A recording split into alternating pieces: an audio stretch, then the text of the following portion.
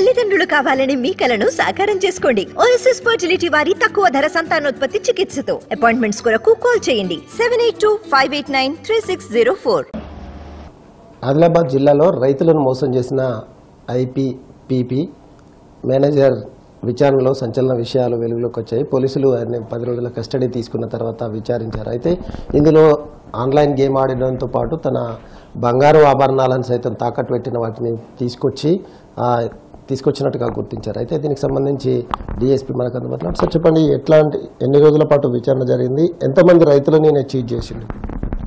ఈ Indian postal payment bank ex manager Jadhav విజయ్ని పది రోజుల పోలీస్ కస్టడీ తీసుకోవడం జరిగింది. మేము ఈ పది రోజుల్లో అతన్ని డీప్గా ఇంట్రాక్షన్ చేయడం జరిగింది. అతని ఇంట్రాక్షన్లో చెప్పిన విషయం ఏంటంటే అతడు డిసెంబర్ ఎండింగ్ నుంచి మార్చ్ సెకండ్ వీక్ వరకు ఈ రైతుల యొక్క అమౌంట్స్ అంటే కా- కాటన్ రైతులు వారు కాటన్ అమ్మగా సిసిఐ నుంచి వచ్చిన అమౌంట్స్ ఐపీబీబీ బ్యాంక్ అకౌంట్స్లో జమ చేయడం జరిగింది. వారిని మిస్గైడ్ చేస్తూ మీరు ఏబీ ఐబీబీ బ్యాంక్లో విడ్రా చేస్తే only twenty five thousand per day వస్తుంది. కాబట్టి మీరు వేరే ఏదైనా అకౌంట్ కానీ మీ ఫ్రెండ్స్ అకౌంట్ కానీ ఉంటే చెప్పండి బ్యాంక్ అకౌంట్స్. మేము దాన్ని డైవర్ట్ డైవర్ట్ ట్రాన్స్ఫర్ చేస్తాము.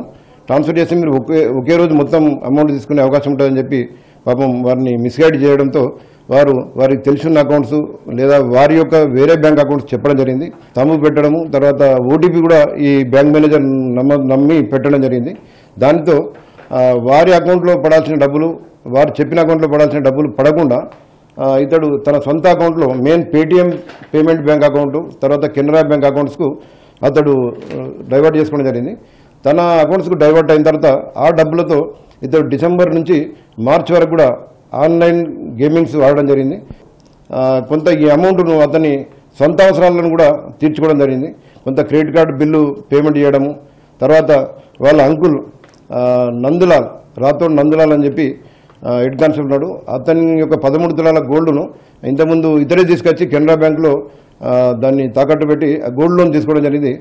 ఆ, రాథోడ్ నందులాల్కి సంబంధించిన గోల్డ్ను ఈ రైతుల యొక్క అమౌంట్ను పేతో పేమెంట్ చేసి థర్టీన్త్ ఫిబ్రవరి రోజు ఆ పదమూడు తులాల లోన్ ఇద్దరు రిలీజ్ చేసుకోవడం జరి చేసుకుని వాళ్ళ అంకుల్కు ఇవ్వడం జరిగింది. ఈ నేరానికి సహకరించినందుకు రాథోడ్ నందలాల్ మరియు ఇతని వైఫ్ రాథోడ్ మహేశ్వరిపై కూడా ఈ నేరానికి అబెట్మెంట్ చేసిందని మళ్ళా రైతుల యొక్క డబ్బులను అన్యాయంగా మన ఇతర వాళ్ళ గోల్డ్ లోన్కు పేమెంట్ చేసి రిలీజ్ చేసుకుని ఈ నేరానికి సహకరించినట్టు వారిపై కూడా కేసు నమోదు చేయడం జరిగింది. ముఖ్యంగా ఇప్పుడు ఏడు అకౌంట్లోకి ట్రాన్స్ఫర్ అయినాయి సార్. ఎంత ఎంత ట్రాన్స్ఫర్ అయినాయి? మొత్తం ఈయన ఫ్రాడ్ ఎంత చేసింది మొత్తం టోటల్? మొత్తం ఇప్పటివరకు ఎస్టాబ్లిష్ అయిన దాని ప్రకారం దాదాపు డెబ్బై నాలుగు మంది ఫార్మర్స్ యొక్క డబ్బులు ఈ ఐపీపీ బ్యాంకు అకౌంట్లో పట్టడం జరిగింది.